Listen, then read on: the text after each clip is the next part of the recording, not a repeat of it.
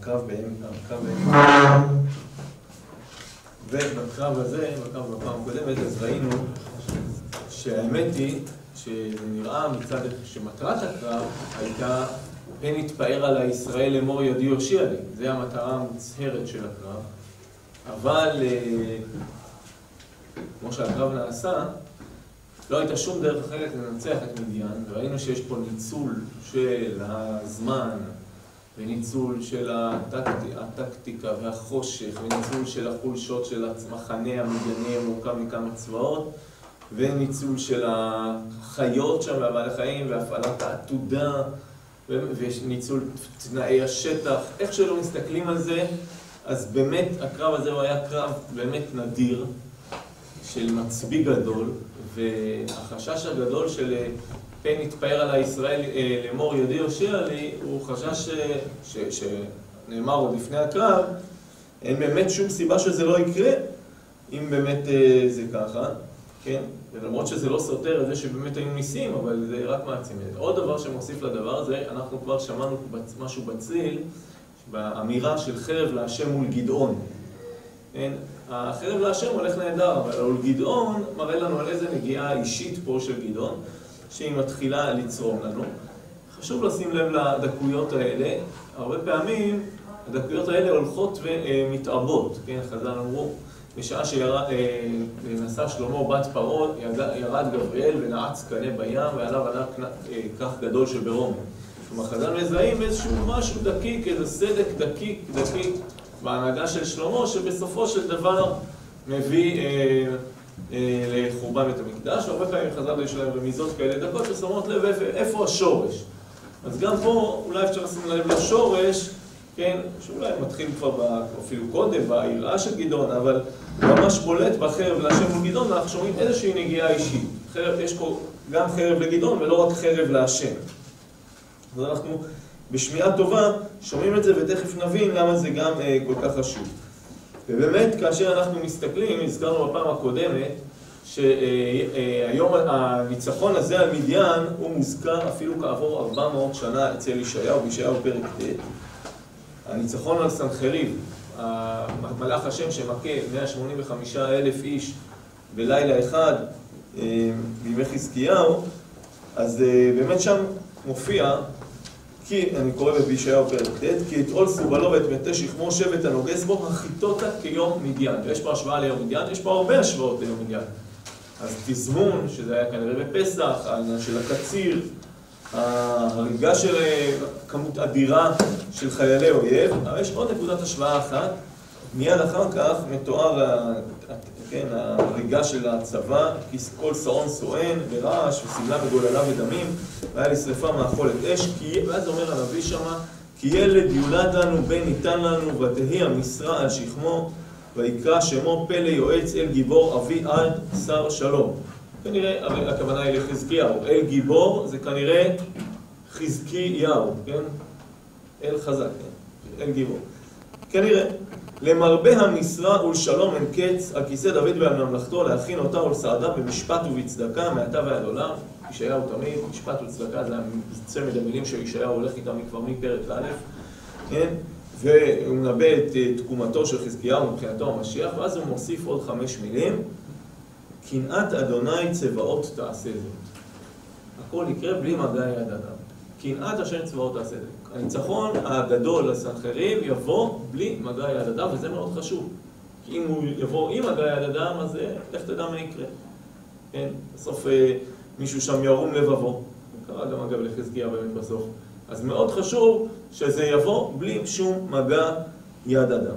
וגם אצלנו, אנחנו, זה, זה העניין, זה שהניצחון יהיה נס, זה מאוד מאוד חשוב. ולכן, אנחנו, הרגישות הזאת לשמוע את החרב להשם מול גדעון, וראינו גם בפסוקים, שלפעמים קצת מיוחס לעם ישראל הניצחון, ויעמדו, כן, ויקראו, כל הדיבורים האלה, אז זה מאוד מאוד חזק. אנחנו הגענו לפרק ח', פסוק א'. כן. ש? כן, כן. ניצחון בנס זה ניצחון חשוב. כאשר המצב קשה בעם מבחינה רוחנית, ניצחון בנס הוא חשוב זה הכלל שבת רוח העם, רק שהעם לא ייחס אותו לעצמו. עיין ערך מלחמת ששת הימים, כן? לא, זה בדיוק הבעיה. ואז מתגאים, זה בדיוק יחזקיהו, מתגאים ואז נופלים. כן, אותו דבר גם כאן. כן. וילכדו שני שרי מדיין, אז, אז אני, מדלג, אני רק חוזר בשני פסוקים אחורה, ויצעק כל איש אפרים, וילכדו את המים עד בית ברא ואת הירדן, גדעון שולח להם מלאכים, הם לוכדים את המים, כן, וללכוד את המים זה טריק מאוד ידוע בתקופת השופטים, אין דרך לחצות את הירדן באותה תקופה, אין גשרים, זה עוד לפני המצאת הגשר, אנשים חוצים במה שנקרא מעברות הירדן, איפה שהירדן נמוך, ופשוט אנשי אפרים מחכים למדיינים שכבר רצים איזה כמה עשרות קילומטרים ופשוט אה, אה, הורגים את כולם שם. והם תופסים את עורב ואת זאב בצור עורב, יקב זאב, זה אירוע שלם כנראה, הרי היה שקראו למקום על שם האירוע. ואז הם, הגענו לפרק ח' פסוק א', ויאמרו אליו איש אפרים, מה הדבר הזה עשית לנו לבלתי קרות לנו, כי הלכת קרו, לבלתי קרו לנו, כי הלכת להילחם במדיין, ויריבון איתו בחוזקה. ויאמר עליהם, מה עשיתי אתה ככם? הלא טוב עוללות אפרים מבציר אביעזר. כן, מה אתם רוצים? כן, הוא אומר להם, הלא טוב עוללות אפרים מבציר אביעזר, גם לשים לב ככה שהדוגמה שלו היא מעולם הכרם. תזכרו את זה, אם לא נצטרך את זה אחר כך. הלא טוב עוללות אפרים מבציר אביעזר. עוללות אפרים, מה זה אומר? מה זה עוללות? הענבים הבודדים שנשארים בכרם אחרי שכבר בצרו, בסדר? מה שאתם עשיתם בסוף, בסוף הבציר, כן? זה יותר טוב מהבציר של אביעזר, של השלוש מאות איש שלי, שהם כנראה, כמו שאמרנו, הם אנשי משפחתו, משפחת אביעזר.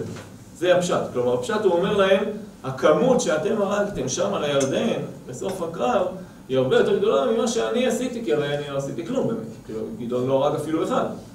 לא נכון, ברור שזה כאילו... מי שמקשיב טוב, כאילו, מה החידוש? ברור שהם הרגו יותר, הרי זה בדיוק הנקודה.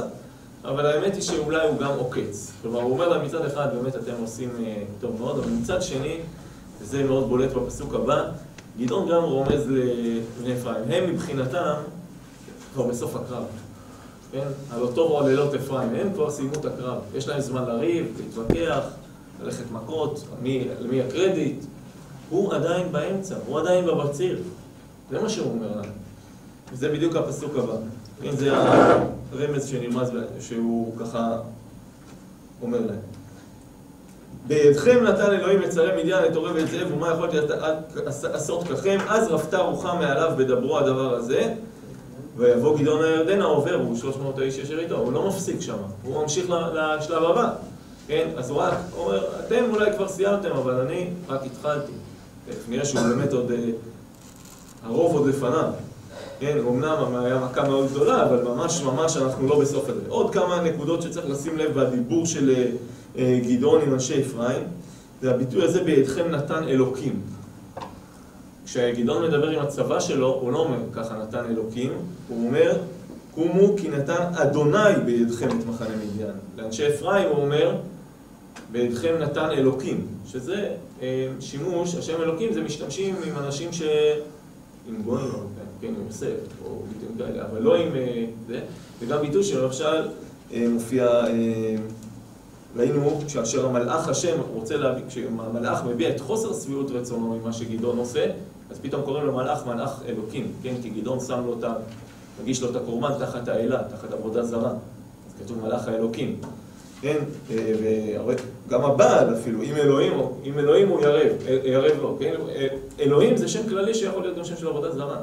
כשגדעון מדבר עם אנשי אפרים, אז הוא עובר לדבר איתם על שם אלוקים, הוא לא מדבר איתם על שם הוויה, וזה רומז לנו אולי גם למה הוא לא קרא להם לקרב, חוץ מהבעיה החברתית שלהם, כן? שהם אה, מתלוננים כרוניים, כמו שנראה גם אחר כך אצל יפתח, אז אה, חוץ מהבעיה הזאת, גם כנראה שהם אה, אולי כנראה מעובדי הבעל, או מאלה שעובדים בשיתוף, כמו שראינו בהתחלה, ולכן זה, זה גם נרמז כשהוא, בסוף הפסוק הזה, כשכתוב אז רפתה רוחה מעליו בדברו הדבר הזה.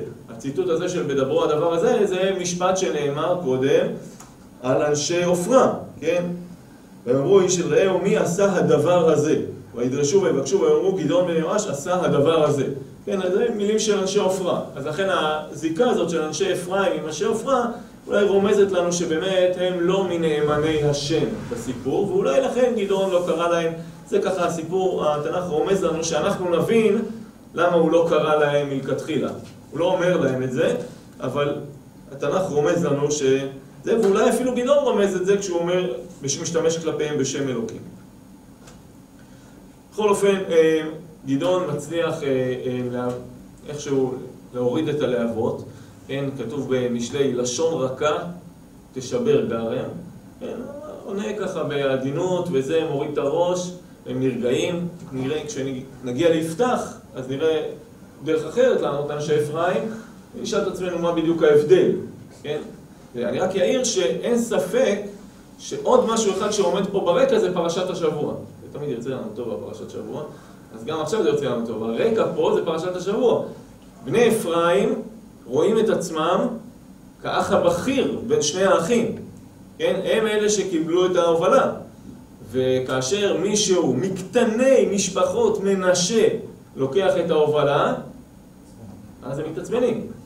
יפתח מאיזה שבט הוא היה? מאיזה שבט היה יפתח? גם משבט מנשה, יפתח הגלעדי, מבני גלעד. בסדר? אז הוא גם היה משבט מנשה. כלומר, אנשי אפרים באופן עקבי, כאשר בני מנשה לוקחים את ההובלה, אנחנו רואים שעולה להם הג'נן על הראש. רש"י אומר כן. את זה במפורש, שאומר גם הוא להאמין, זה גדעון. הוא גם, הוא יגאל ממנו, זה יהושע. כן. זה הוא אפרים. כן, כן, אבל באופן כן, אני רק אומר אפילו פה, זה בא לידי ביטוי גם ה... זה. כלומר, אתה אומר שמשם מוכח שזה באמת רומז לגדעון. הייתה פה עושה ממש ארוכה מכזרי עד לנחלת שבט. זה רק ההתחלה, וזו רק ההתחלה. עכשיו. הריצה היא מעמק יזרעאל עד הירדן, זה 20-30 קילומטר. זה גם אני עושה. אבל הם הגיעו לאפרים. לא, לא הגיעו לאפרים. אני הסברתי בפעם, נראה לי לא הסברתי בפעם הקודמת, אני אסביר שוב. הר אפרים, יש שני מקומות בתנ"ך שנקראים בשם הזה. הר אפרים, אחד זה הר אפרים המוכר לנו מהאזור השומרון. כן? לעניות דעתי, לא ראיתי שכתבו על זה עדיין, או מישהו שגדל, אבל נראה לי שלא מדובר על הר אפרים הזה. קשה להאמין שבני אפרים מגיעים משם תוך כמה שעות וסתימים לסגור את הירדן. כשמסתכלים טוב במרד אבשלום, ושמואל א', פרק י"ז שם, רואים שבעבר הירדן המזרחי, בצד השני של הירדן, יש אזור שנקרא גם הוא יער אפרים. נראה בהמשך ספר שופטים שעם הזמן בני אפרים פולשים אל עבר הירדן המזרחי. כנראה שאץ לך הר אפרים, שלא היה להם מקום, והם לאט לאט פולשים גם לעבר הירדן המזרחי, אל פאתי שבט מנשה, נפגוש את זה ביפתח, כן, אל הפאתים המערביים של שבט מנשה ולאזור הגלעד, ומתיישבים שם. נראה לי שזה הר אפרים המדובר, אותו הר אפרים והר אפרים שמוזכרים במרד אבשלום, ולא הר אפרים הרחוק שבשומרון, בסדר? נראה לי ככה. למה אפרים מתלוננים בכלל? כאילו, מה אכפת להם שלא קראו להם? לא, אז אמרתי, כמה אפשרויות, כן, זה- אבל יכול להיות שגם הרגשת ה... יש פה איזה פישר אחד קטן שקם, והוא לא אמור להיות זה שמוביל. יכול להיות שעוד מלחמות ש- שהם לא קראו להם, אבל רק במנשה זה מפריע להם? זה מה ש... א', זה ודאי בולט, שזה כאן. אנחנו נציע, כשנדבר על יפתח, נציע עוד הצעה אחת. ללמה, מה, מה מביא את בני אפרים להתקומם.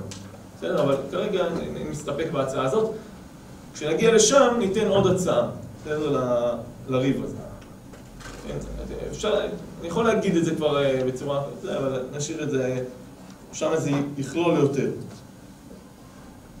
טוב, אז אז רפתה רוחה מעליו ודברו הדבר הזה. ויבוא גדעון הירדנה, עובר, עובר זה חוצה את הירדן, עובר הוא שלוש מאות האיש אשר איתו, עייפים ורודפים. עייפים בתנ"ך זה צמא ורעב. בסדר? ואתה עייף ויגע ולא ירא אלוקים. עייף, צמא, כן? כי ויצמא על המים, גרפידים. אה, מים קרים על נפש עייפה, שמועה טובה מארץ מרחק. מים קרים על נפש עייפה, צמאה. כן, הלעיתני נא מן האדום האדום הזה, כי עייף אנוכי. עייף, תלך לישון. לא, עייף בתנ"ך, הרבה פעמים זה צמא ורעב. בסדר? אז גם עייפים ורודפים, כן, אנשים באמת רצו הרבה, מגיעים כבר עד סוכות, כן, ועייפים, רוצים לשתות, רוצים לאכול. כן, סוכות, כולם מכירים? אין סוכות, אתם מכירים? שביקה. סוכות, כולם אמורים להכיר. יד מכולה.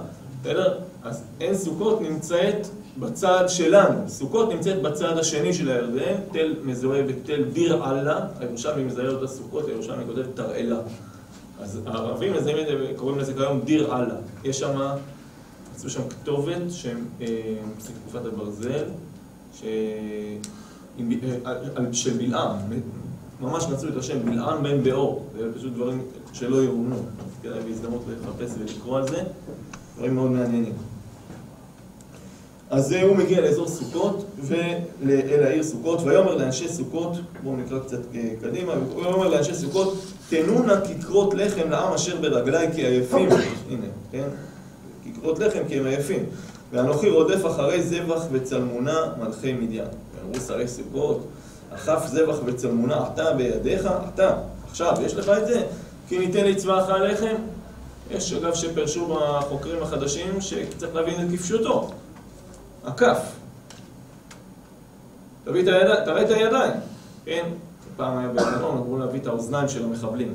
אז בתקופה קדומה, תראה, תראה, תוכיח על הידיים של המלכים, היו את הטבעות שלהם, את הזה שלהם, תראה את הידיים, טביעת אצבעות, נביא לך. כן? תביא, תראה איזה הוכחה. ויאמר גדעון, לכן, בתת אדוני את זבח ואת צלמונה בידי, ודשתי את בשרכם את קוצי המדבר ואת הברקנים. והיה משם פנואל, וידבר עליהם כזאת, ויענו אותו אנשי פנואל כאשר ענו אנשי סוכות, ויאמר גם לאנשי פנואל לאמור, בשובי ושלום אתוץ את המגדל הזה. פה יש כמה שאלות שעולות אה, אוטומטית.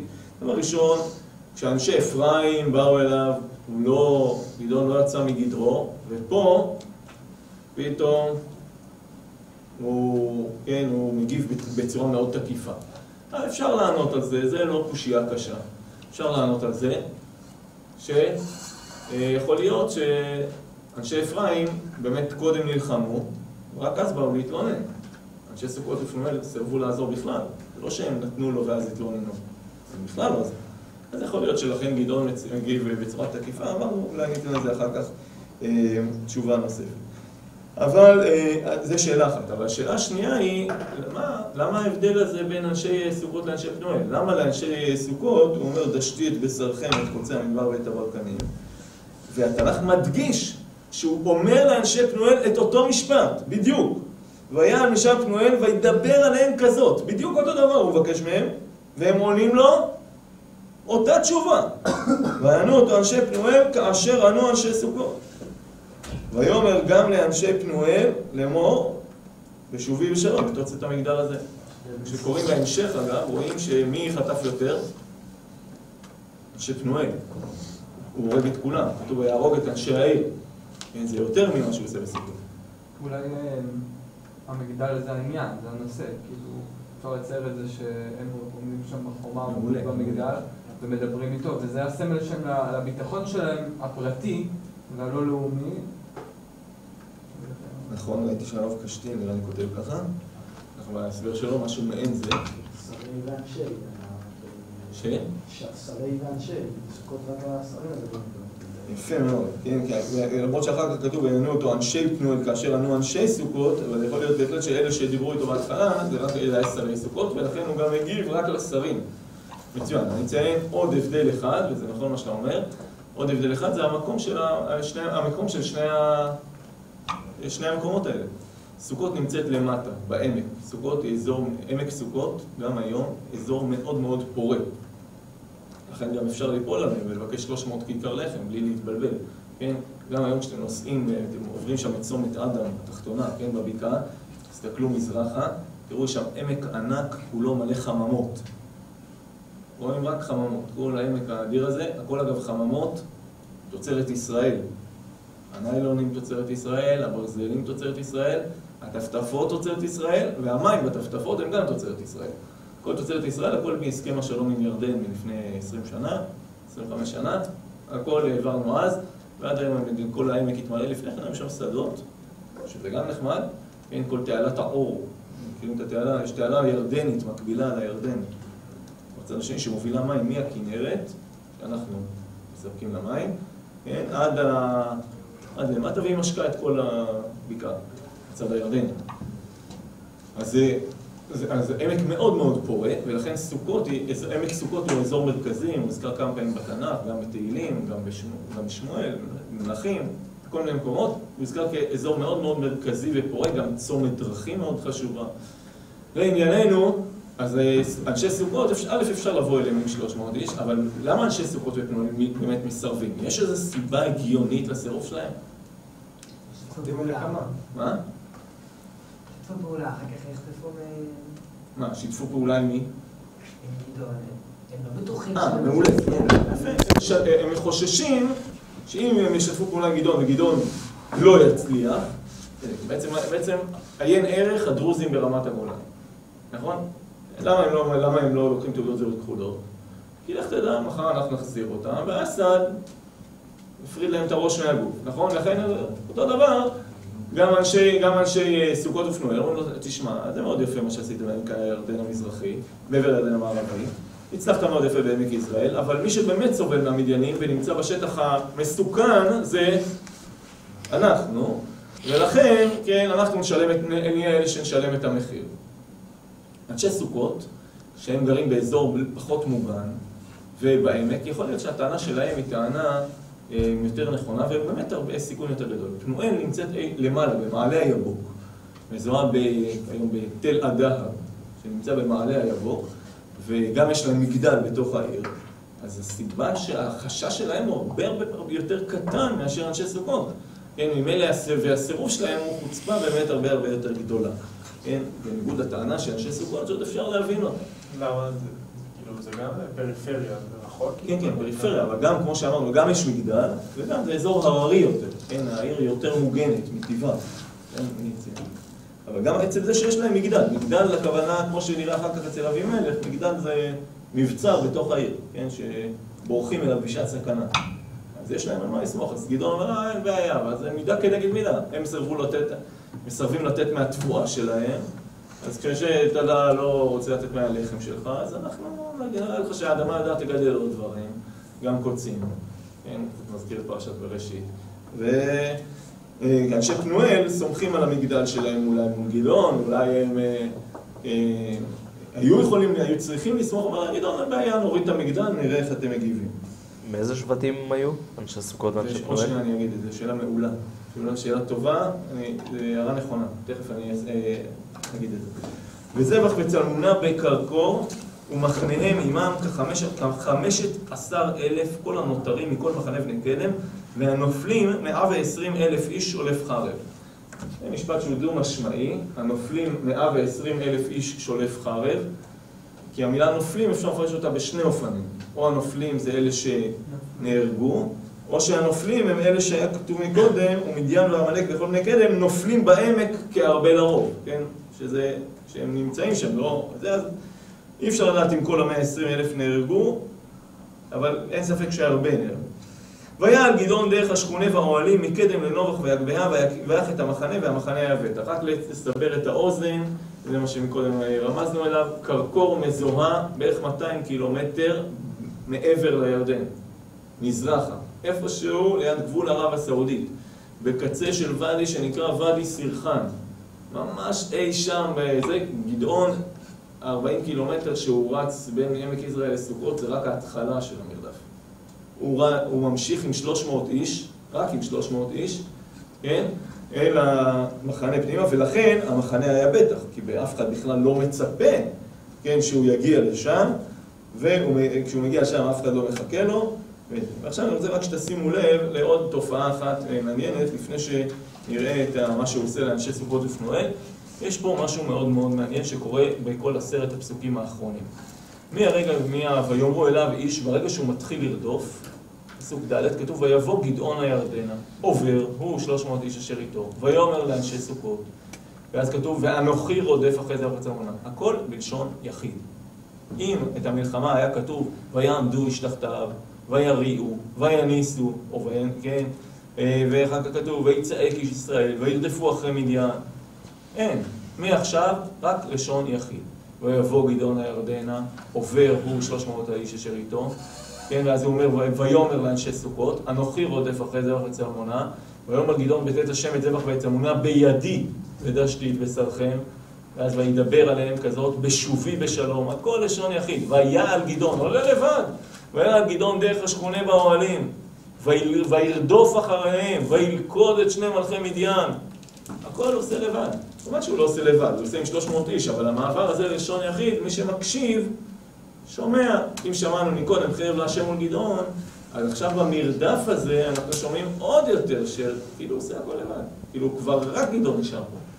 איפה כל מים השלוש מאות הם לא חלק מהסיפור. זה ממש נהפך כבר למשהו אישי שלו.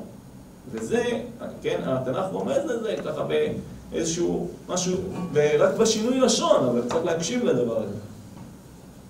בואו נמשיך, אז בואו נראה רק את הסיפור. וישב גדעון בן יואש מן המלחמה ממעלה החרס, כלומר ממזרח מערבה, וילכוד נער מאנשי סוכות, וישאלהו, ויכתוב אליו את שרי סוכות ואת זקניה, שבעים ושבעה איש. חז"ל מדברים שעשו סנהדרין לעצמם, כן, זה באמת מראה על ההתבדלות שלהם, וזה המשמעות של מה שחז"ל אולי אומרים, אנשים שעושים לעצמם דין. אה, אני אומר משהו שלא קשור לתנ"ך, סתם הערת אגב, תשימו לב, הוא תופס נער, הנער זוכר שמ- שמות של 77 אנשים, והנער יודע, יודע לכתוב. אתם מסתכלים כאילו זה ברור לכם שכל אחד יודע לכתוב, בתקופת התנ"ך בודדים ידעו לכתוב, כן? ברוב העמים מסביבנו היה, אנשים שזה התפקיד שלהם, לכתוב, היו סופרים, כן? זה, הם, הם ידעו, הם, זה היה התפקיד שלהם, לכתוב. לא, רוב האנשים לא ידעו לכתוב. עם ישראל, חריג, אנשים יודעים לכתוב, ילדים, נער, נער יודע לכתוב. מצאו גם בארכיאולוגיה כל מיני תרגילי כתיבה. בצרפתא, בעוד כל מיני מקומות, בארץ כבר נמצאו כמה וכמה כאלה, אפילו בירושלים לא מזמן מצאו עוד אחד כזה. תרגילי כתיבה, הם מוצאים זה, אבל זה באמת דבר מאוד מדהים. אין, אה, זה שאנשים יודעים לכתוב, רק לסבר את, יודעים, נע- סתם, נער אקראי מחוץ לעיר יודע לכתוב, כותב לו 77 שמות. רק לסבר את האוזן, בארצות ערב גם היום יש עשרות אחוזים של אנשים שלא יודעים לקרוא וכתוב. כן, במדינת ישראל, שני אחוזים. ערבים ערבים. נשים ערבים, שלא יודעים, בסדר? הם מורידים את הסטטיסטיקה, בסדר? שני אחוזים במדינת ישראל, שלא יודעים קרוא וכתוב. בארצות ערב זה עשרות אחוזים. איך זה? באירופה של ימי הביניים, 90 אחוז לא ידעו קרוא וכתוב. כשבכנסיות הכל מצויר עם ציורים של קדושים וזה, ואת כל סיפורי התנ"ך מציירים, זה פשוט בגלל שאנשים לא ידעו לקרוא. אז ציירו להם. ממש ככה, כן? ציירו את, את, את הכל על הקירות. גם ברומא. ציירו את הכל. כן? לטינית ידעו רק החשובים, המיוחסים. הכמרים ידעו לטינית, ידעו לקרוא את התנ"ך. השאר לא ידעו. מתי זה משתנה? שיעור היסטוריה משתנה כשממציאים את הדפוס. ברגע שיש הכל, שהכל זמין, אז כולם לומדים לכתוב, בסדר? לפני כן לא היה זמין בכלל ספרים. והערבים, כבר אז היו חכמים, האימפריה העות'מאנית לא הרשתה להכניס את מכונת הדפוס. 300 שנה. עד היום הם לא השלימו את הפיגור. עד היום עשרות אחוזים לא יודעים אותו. מדהים. אז תראו, נער, לפני שלושת אלפים שנה, נער יודע לקרוא ולכתוב. מדהים. לא קשור, אבל זה, זה מעניין. ויקוד נער מאנשי סוכות וישאלהו ויכתוב אליו את שרי סוכות ואת זקני השבעים ושבעה איש, וכמו שאמרת, זה השרים, הם אלה שענו, ויבוא אל אנשי סוכות, ויאמר הנה זבח בצלמונה, אשר חירפתם אותי לאמור, אכף זבח בצלמונה אתה בידיך, כי ניתן לאנשיך היעפים לכם. הם, הם אמרו, כי ניתן לצבאך לכם. הוא אומר, כי ניתן לאנשיך היעפים, כי הוא מדגיש את ה... הסיטואציה. כן, את הסיטואציה הקשה שהם לא הסכימו. ויקח את זקני העיר ואת קוצי המדבר ואת הברקנים, ויודע בהם, כלומר עשה להם היכרות מקרוב, ויודע בהם את אנשי סוכות. ואת מגדל פנואל נתץ ויהרוג את אנשי העיר. אין לי הסבר ללמה זה כתוב ככה. ברור שמגדל פנואל הוא נתץ, הכוונה עוד לפני שהוא מגיע לסוכות, זה גם הסדר, כן? קודם מגיעים לפנואל ואז לסוכות, כשאתה בא ממזרח, אז זה עבר. למה כתוב בסדר הזה? אולי כדי להקביל את זה לסדר שבו זה קרה מקודם. ויאמר, אז רגע, עוד לפני שנלך אל ויאמר לזבח הצלמונה, אני רוצה לשים, שנשים לב לשתי תופעות שיש כאן אצל גדעון, שהן אה, מעניינות והן קשורות מאוד, ל, אה, אה, נראה שאיך הן מתפתחות עוד, עוד יותר ועוד יותר אצל גדעון. גדעון חורג מתפקידו כשופט. שופט בדרך כלל פותר בעיה מקומית. כן? אהוד מכה את המואבים, את אלה שחצו את הירדן. לא נכנס למואב ופולש למעבר לזה. הוא מגן שופט פותר בעיה מקומית, אף פעם לא תוקף, לא יוזם, לא חורג. גדעון, מרדף. ארדפה אויביי ואשיג- ואשיגם ולא אשוב עוד כלותם. דוד המלך, נכון? אין, אין זה, זה נדיר, זה, זה לא תפקידו של שופט.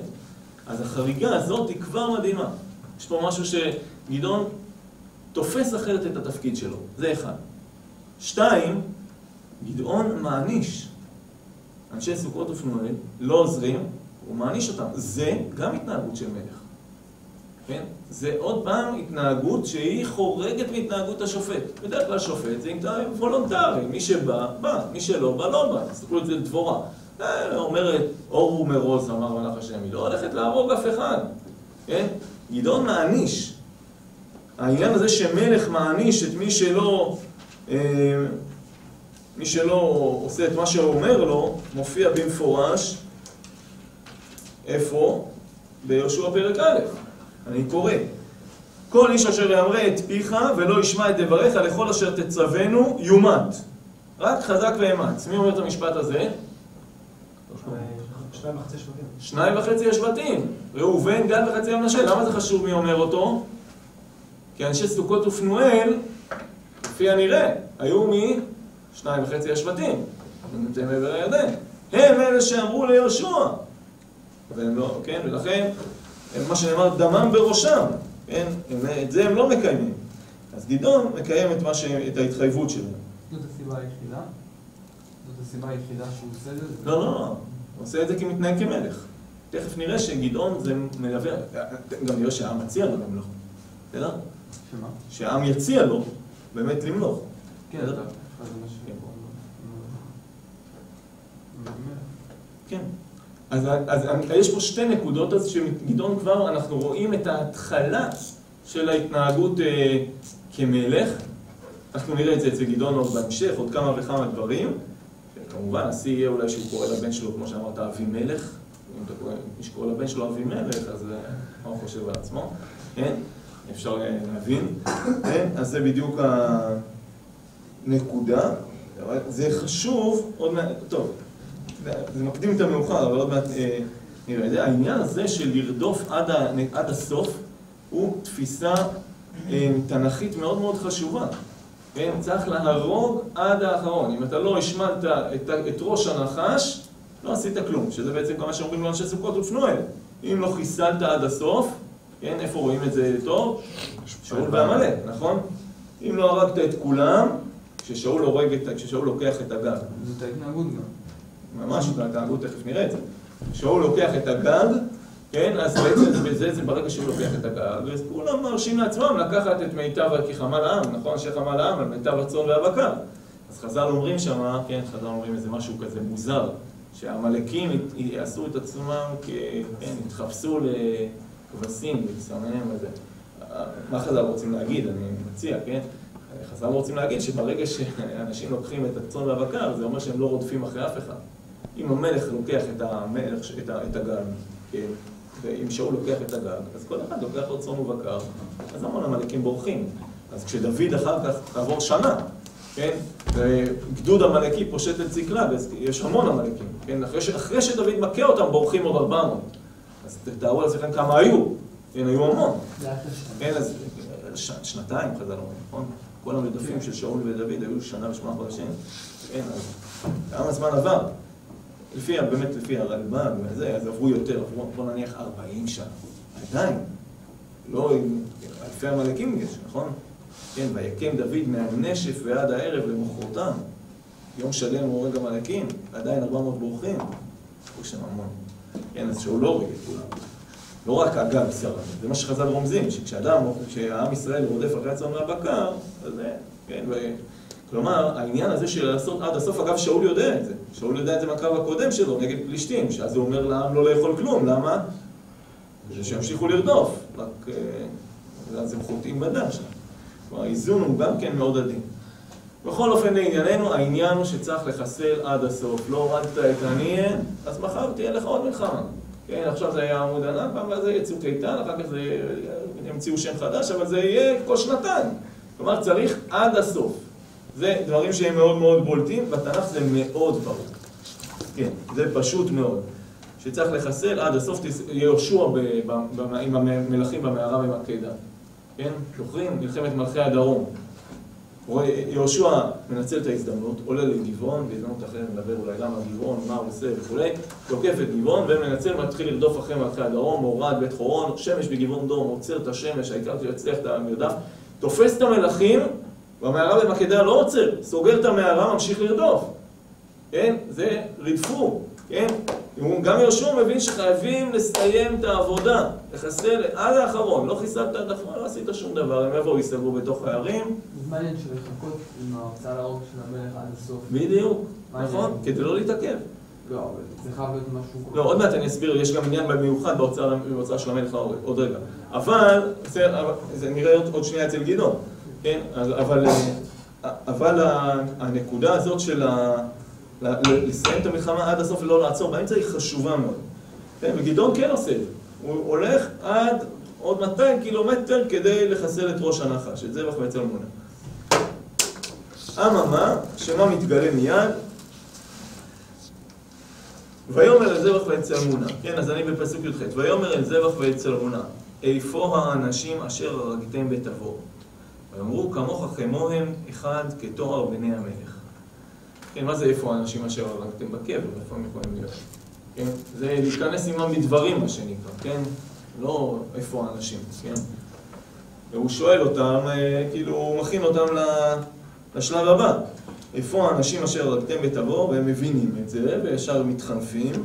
ויאמרו כמוך כמוהם אחד כתואר בני המלך, הם היו נראים באמת דומים לך עכשיו שאתה זה, והם אומרים לו כתואר בני המלך, מכתירים אותו כבר למלך, כן, ואיזשהו סוג של חנופה כזה, ויאמר, ויאמר, החי בני אמי הם, חי אדוני, לו החייתם אותם, לא הרגתי אתכם.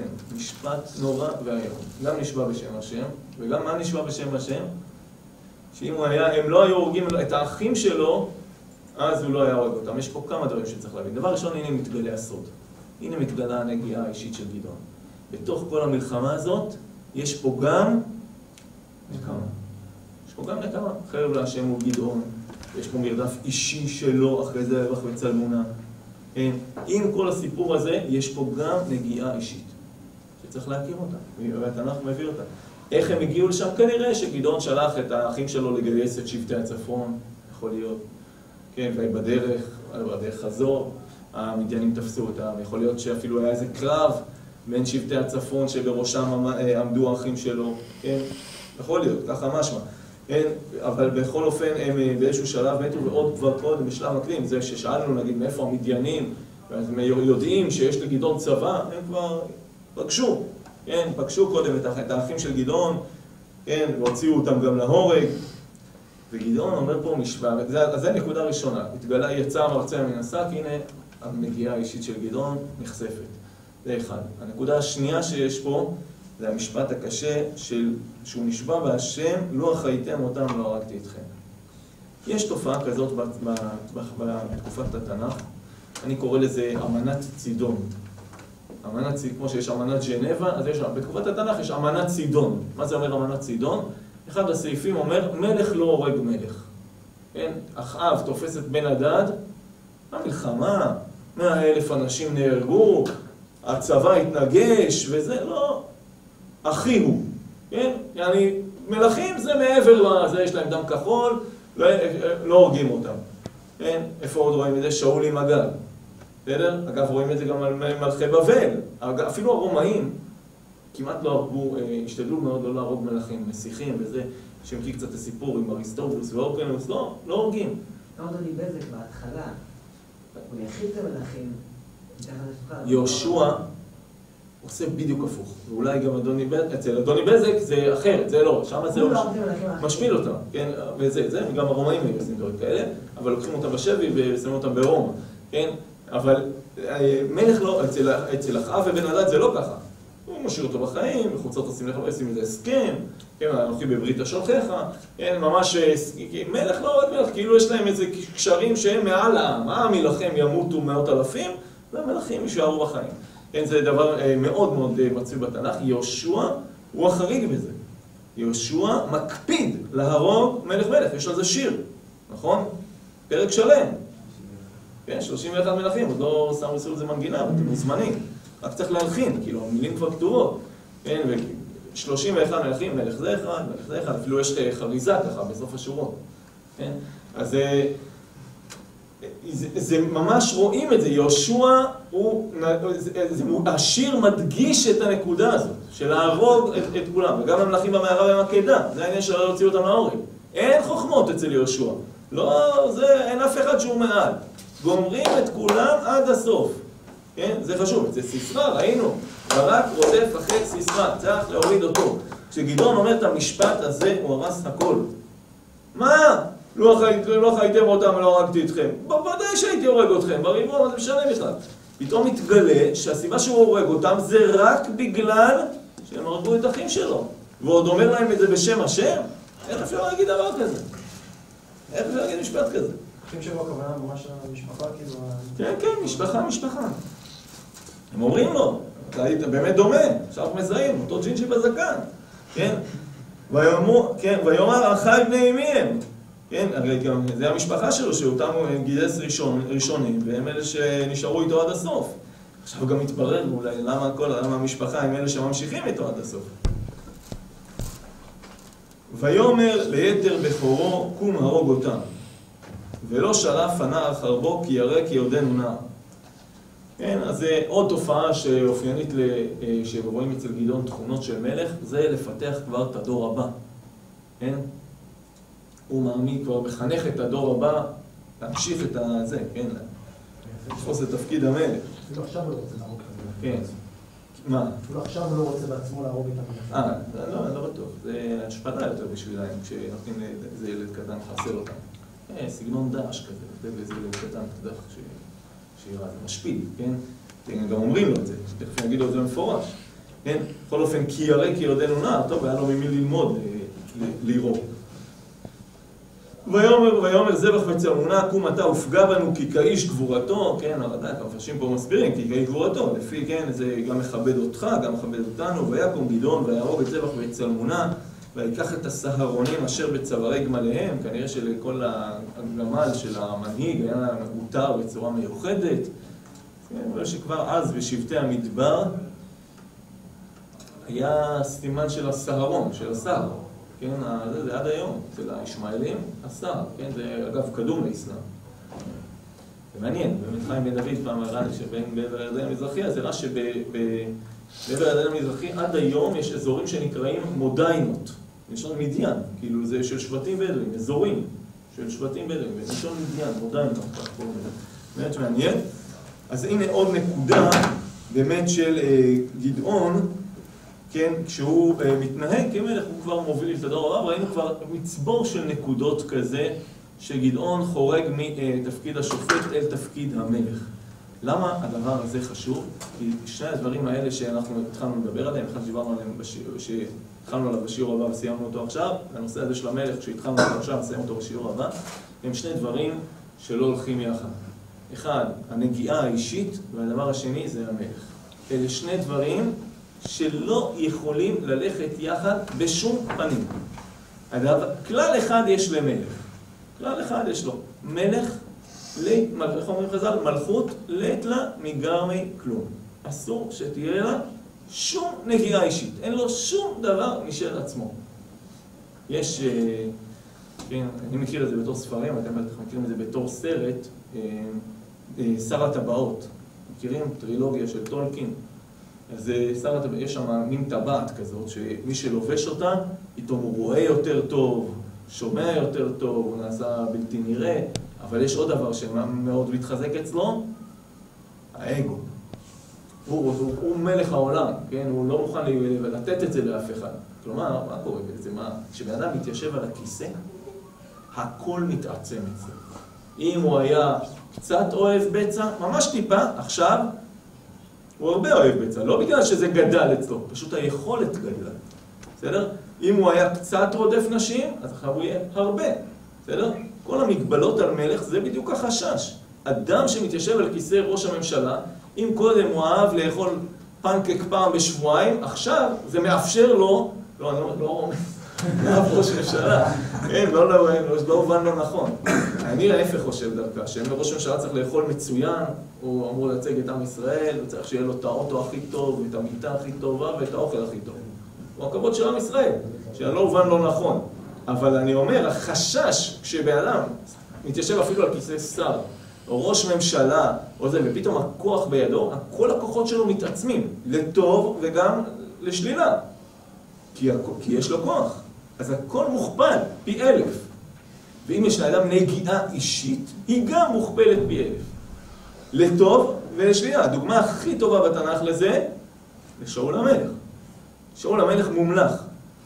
אז כתוב ויבזוהו, כן? היו כמה, היו בני בליעל שביזו אותו, ויהי קמח חריש.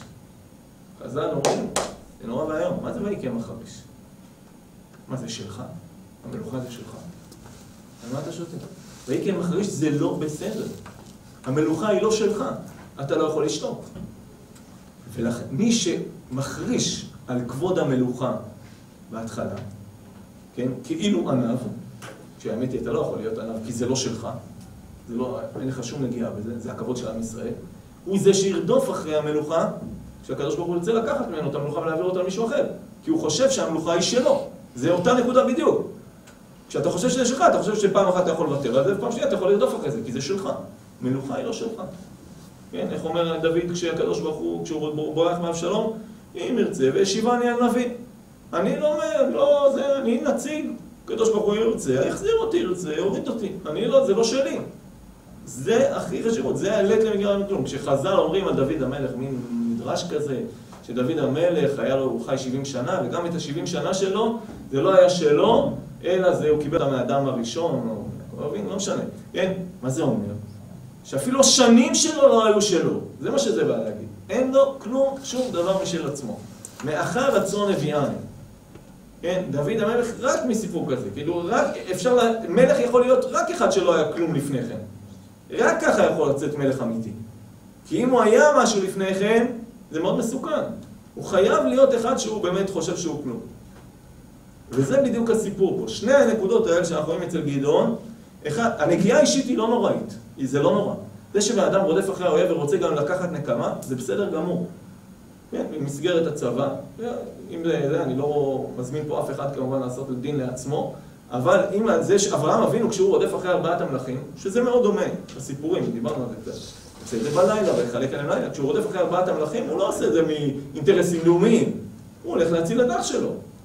אין בעיה בזה, זה בסדר גמור, גם פה גדעון עושה את זה בגלל האחים שלו, זה בדיוק אותה הקשר בינו לבין אברהם אבינו, הבדל אחד, שגדעון גם מרגיש את עצמו כמלך, ואז זה בעיה, כי ברגע שיש לך נגיעה אישית, כן, אז זה בעיה ואנחנו נראה איך זה מתעצם, אצל הבן שלו זה יתעצם מאוד, כי אז הוא יגיד כן, אז אני המלך, אז השיא יהיה אצל אבימלך. הנגיעה האישית הזאת שהתחלנו להרגיש בה, בחרב להשם ולגדעון, ואחר כך שמענו אותה קצת בלשון יחיד. עכשיו, בסוף שמענו אותה, שהוא, לא, שהוא אומר להם, אם לא הייתי הורג אתכם, נכון, הוא הורג אותם בסוף. אבל האמירה הזאת, חי השם, לו חייתם אותם, לא הרגתי אתכם, היא אמירה מסוכנת. היא אמירה שאין לה מקום. כן, ואנחנו, זה, והתוצאה שלה, למרות שעכשיו, עד עכשיו במעשים הכל בסדר. הוא הורג אותם, הכל בסדר. אבל זה השורש, ואת התוצאות נפגוש אצל אבימלך. אז נגיעה אישית ומלכות לא עובדים ביחד. אפשר נגיעות אישיות, אבל אי אפשר להיות מלך אחד. נעצור בזה, פעם הבאה נמשיך כבר לסיפור אבימלך. חזרתי לזה.